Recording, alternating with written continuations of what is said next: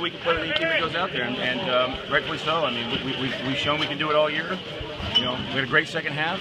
We were really hot down the stretch. We're swinging the bats good. We're doing everything. We're, we're doing everything good, and uh, we're doing everything right, and uh, we're capitalizing on mistakes, and we're capitalizing on uh, every situation, basically.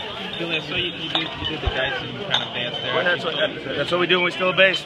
Yeah. I'm in that category now. is, is, is Dyson, I mean, is he one of the guys that brings maybe the most energy on this team? 100%. Me, Dice, Haas, those guys, we, we bring a lot of energy. We bring a lot of uh, fire with each other each day. You talked about the 10 years you've been with the organization. How much